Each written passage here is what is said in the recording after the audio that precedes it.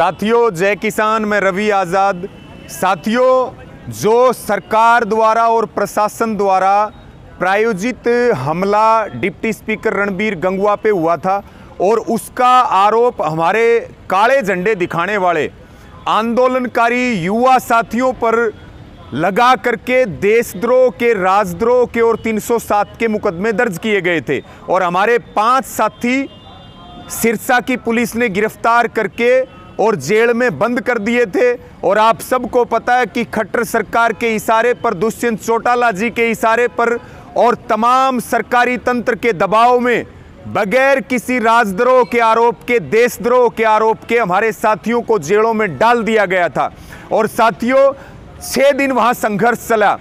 सत्रह तारीख को सिरसा में जो लघु सचिवालय है जहाँ पुलिस ने बैरिकेटिंग लगा रखी थी, वहीं आंदोलन शुरू हुआ और 18 तारीख से हमारे संयुक्त किसान मोर्चा के वरिष्ठ नेता बलदेव सिंह सिरसा जी इस संकल्प के साथ आमरण अनशन पर बैठे कि या तो मेरी विदाई होगी या युवा किसान साथियों की रिहाई होगी। और बताते हुए बहुत खुशी हो रही है, आज का दिन ऐतिहासिक है। एक तरफ़ किसान संसद शुरू हुई है मानसून सत्र के बराबर में तो दूसरी तरफ़ छह दिन का संघर्ष और पाँच दिन का बलदेव सिंह सिरसा जी का अनशन रंग लेकर के आया है। और बगैर किसी शर्त के, जो हमारे पाँच साथी जेल में बंद थे, उनको रिहा करना पड़ा खट्टर सरकार को और गठबंधन की सरकार को।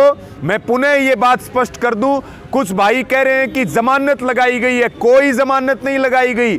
बगैर किसी शर्त के रिहाई हुई है, इस बात को हम ठीक करें। और साथियों, मेरा सबको निवेदन है, जितने हमारे संगठन हैं, हमारे भाई प्रहलाद सिंह भारूखेड़ा जी, भाई लखविंदर जी, और सभी हमारे तमाम हरियाणा भर से, सिरसा भर से किसान, युवा साथियों का, सभी संगठनों का, सभी सामाजिक संगठनों का, खापों का, हम बहुत आभार प्रकट करते हैं। और आपने हिसार जीता, आपने टोहाना जीता, आपने सिरसा जीत करके भी एक नया इतिहास रच दिया। आपके संघर्ष को सैल्यूट करते हैं और इसी के साथ में जो भी आगामी कार्यक्रम सिरसा के आंदोलन के लिए था, जैसे कि सिरसा को आधे दिन बंद करने का निर्णय था, उसके बाद में हिसार में डिप्टी स्पीकर का 24 तारीख का घेराव का कार्यक्रम था और 23 तारीख को सिरसा बंद करने का ऐलान था। सभी कार्यक्रम वापस लिए जा रहे हैं और अभी अनशन जो है, पाँच दिन का अनशन, जो बलदेव सिंह सरसा जी ने अपने शरीर को शरीर को नुकसान करके